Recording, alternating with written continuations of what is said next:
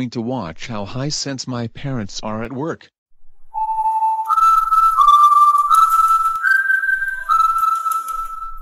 Wow. This 2001 Universal musical comedy movie starring Method Man and Redman was unnaturally funny and crazy. That is the best movie I have ever seen in my life.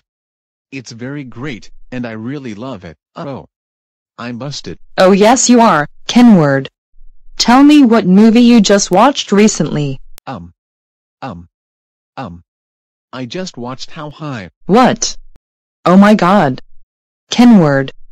How dare you watch How High? You know that this movie is rated R for pervasive drug use and language, and for sexual dialogue. You are not mature enough to watch it. And plus, it's not good for you at all. But mom. This was one of my all-time favorite movies. I just wanted to watch it because I really love it. No. That wasn't a funny movie at all. It's very inappropriate for you.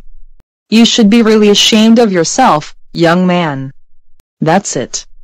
You're grounded for five days.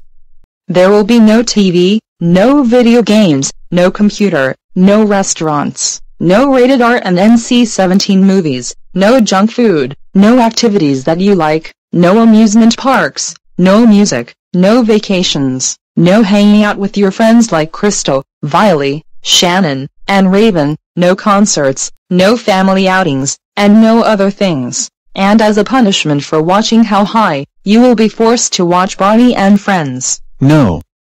I'm not watching Barney and Friends. Please don't make me watch that stupid kid show. Well too bad. That's what you're getting for watching How High. Now start watching Barney and Friends, or you will be grounded even longer. Well, uh...